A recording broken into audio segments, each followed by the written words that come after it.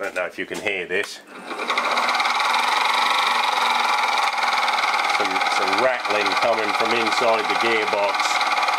So I need to find out what that is. So the uh, next project will be stripping the mill down to find out where that rattle's coming from.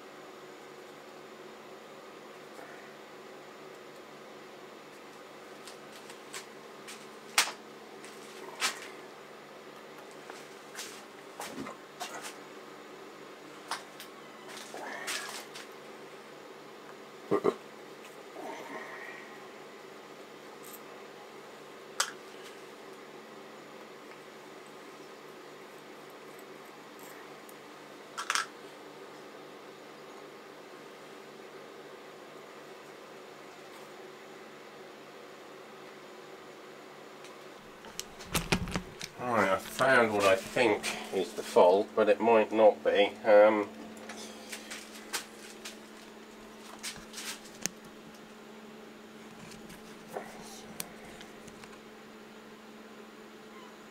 the teeth on this uh, drive, for some reason in this position, I think it might have been when I overloaded it the other day trying to use a 16mm drill bit the, teeth seem to have uh, deformed anyway.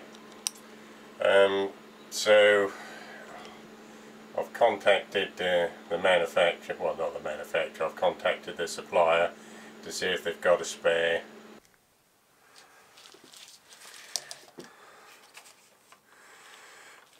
I can uh, can see the damage here on the teeth. It's in a couple of places there.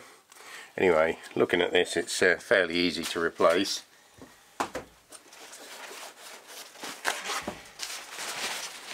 Get some of this old grease out of there. I don't know why they got grease all over the top here. But uh, anyway, get rid of that. I'll put some more grease in when I put the, the new one back in. Right, I think it's just a case of unclipping this uh, circlip. Keep my hand on that so it doesn't go flying across the shop. That's the last thing I want. Right, that out. So I'm guessing that just lifts off now. There's a little key in there. Hope that's not going to drop down into the abyss when I uh, lift it up. Keep an eye on that.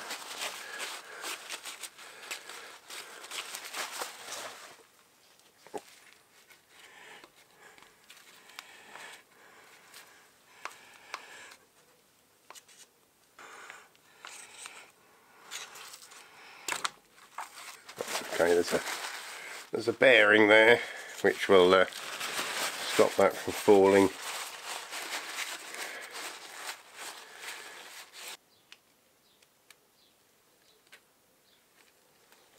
Great, got that. Alright, that's a that. That's the little washer.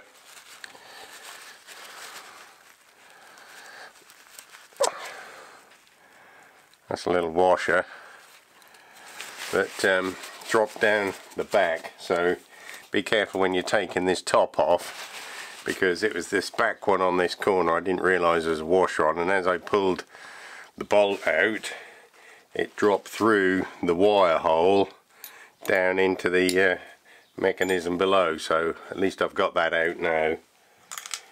So I don't need to worry about that churning anything up and it's quite a simple replacement. This one just goes back over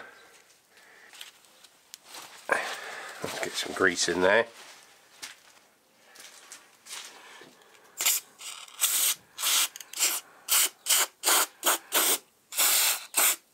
Got some lithium grease in there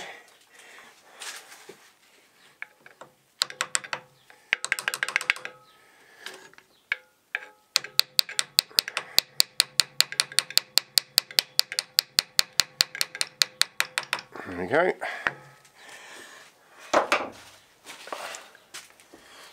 a bit more.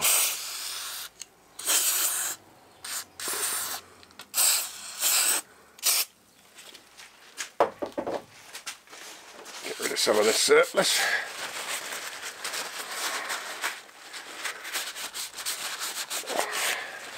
Just a case of getting the circlip back on now. Spin that round so that's opposite that. Let's see if that's uh, stop that horrible um, graunching sound now.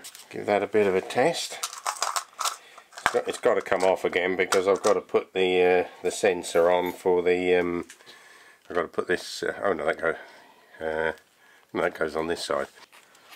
It doesn't really seem to be any way to um, offer up the uh, you know, to get, to get any any adjustments so I'm just assuming that it automatically goes in the right place but I don't know whether it does or not because you can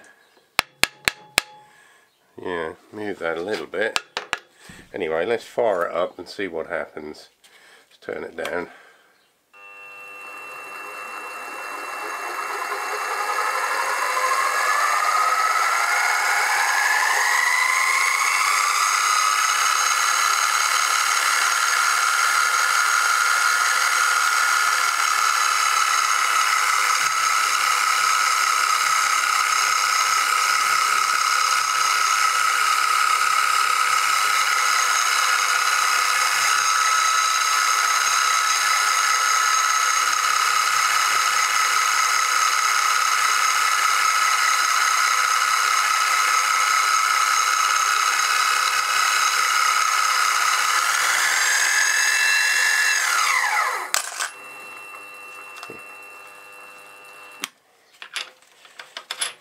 great. That's uh, that's fixed that horrible noise.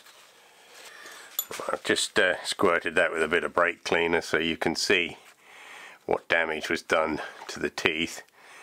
Purely self-inflicted this is uh, myself getting a bit greedy with the tooling and expecting this uh, poor old mill to do uh, more than it's capable of. But anyway these pieces are about 20 pounds English pounds. Um, I don't know what that is in dollars, probably about $25. So they're, they're even cheaper from China, £10 I think, and about $12. Um, but uh, yeah, they're sacrificial parts anyway, so I suppose I'm lucky, uh, you know, a couple of years down the road with this mill, probably about three years old. Yeah, about three years old, this mill now. And that's the first time I've, I've messed it up, and, and looking at the rest of the teeth, there's very little wear on the rest of them. So I'm quite pleased with that. That's fixed the problem and now I can get back on with the model.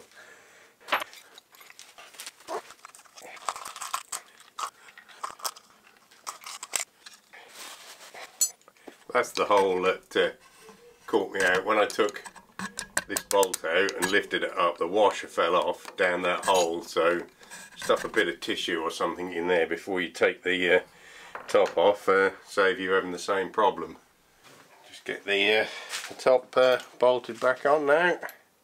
Just put the uh, little speed sensor back together.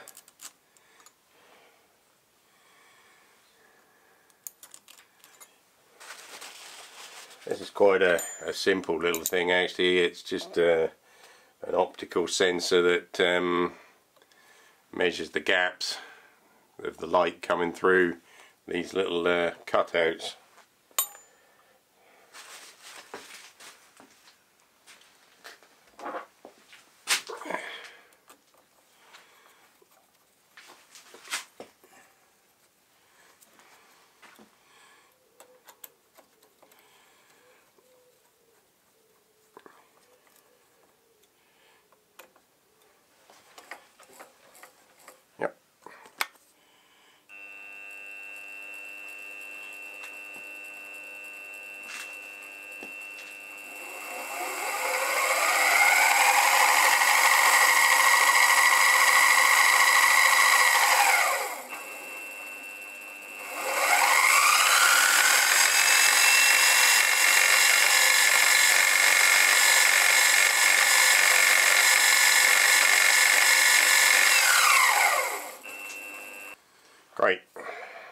let's get the top back on now.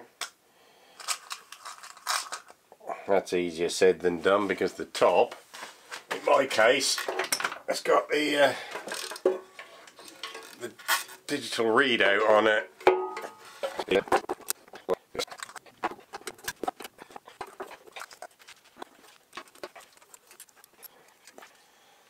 As it turned out, obviously I didn't know at the time, but um, I didn't have to remove the uh, spindle drawbar, but uh, anyway, doesn't matter.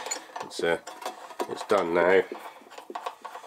I could have uh, taken it apart with the drawbar still in place.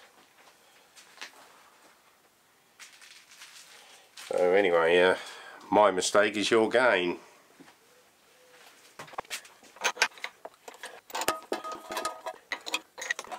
Great.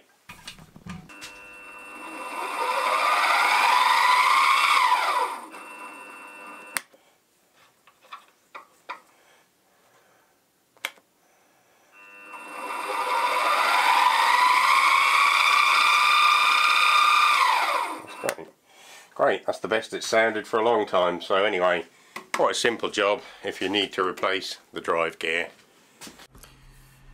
Thanks for watching and I hope you enjoyed the video and to show your appreciation for the time and effort put into making these videos please consider subscribing and hit the like button and I'll catch you next time.